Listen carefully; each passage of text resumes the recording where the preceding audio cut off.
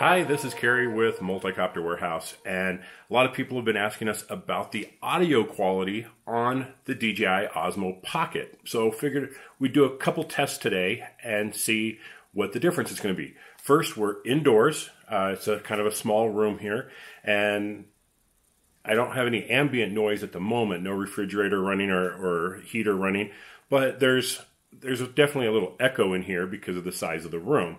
So this would be your typical vlogger setup, uh, talking to it.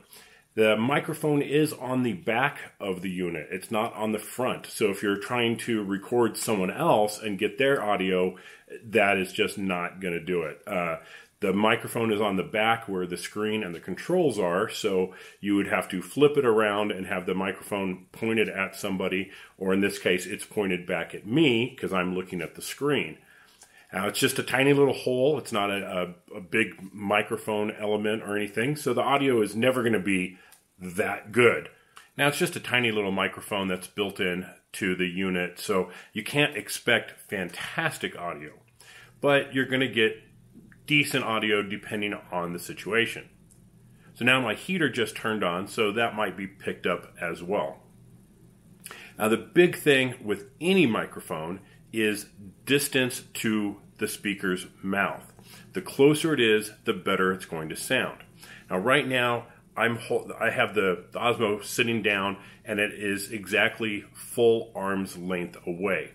This would be a very typical scenario for a vlogger to try and get the, the best field of view uh, on the image. Now, in terms of audio quality, the closer the better. So if I come in real nice and close, the audio is actually going to sound pretty good. But if I back up and get further away, the audio is going to sound pretty poor. So there's definitely a sweet spot in there where the audio is going to sound its best. So next, we're going to go outside and do some tests out there and see what the audio is going to be like in a more ambient environment. I'm very close to an airport and, and streets, so there should be plenty of background noise as well. So let's head outside and see what it's like out there.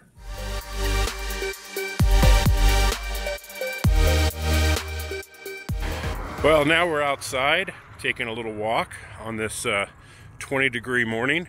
We'll see how it is out here. There's quite a bit of ambient noise. I'm not that far from an airport, so I hear noise over here. I've got car noise going on. There'll be a car passing me right now. So we'll see how that works out. Uh, I am trying to keep it not quite, that's fully extended away from my arm to get the best field of view, but I have a feeling the audio is not going to be that good. If I bring it in a little closer, we should get some better audio but the field of view is a little tight for doing vlogging. So that's my outdoor test, and we'll get back inside and uh, see how these compare.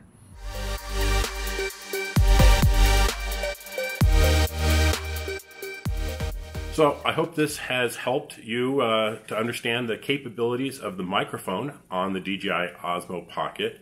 Now, up until this point, all the audio has been straight out of the camera, no editing, no post production.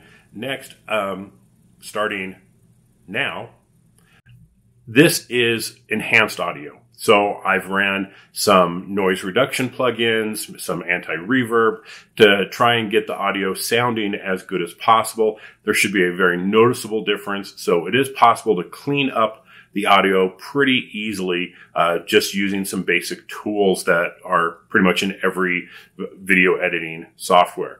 So while it's not bad in some situations, it's certainly easy to clean up a little bit. Now, coming soon, there will be uh, modules to allow for external microphones. Uh, you could probably pick one up today in uh, any decent electronics store, just getting a USB to microphone adapter, and that should work just fine for now. You might have to figure out if you're trying to put it on a mount or sitting on a table, you might have to figure something out because the port is on the bottom of the Osmo Pocket. Uh, another option might be, and this is, we got to still play around with this option, is to record to your phone and have a Bluetooth microphone or some other microphone going into your phone. So there should be a couple different microphone options coming in the very near future, but we'll have to see how they all tend to work out. So for now, people want to know what's it like right out of the box. Here's your answer. And hopefully this has uh, done it for you. So thanks for watching. Please subscribe and click the bell icon to be notified whenever we do new videos and like and share this if you so desire. Thanks for watching. We will catch you next time. Bye bye.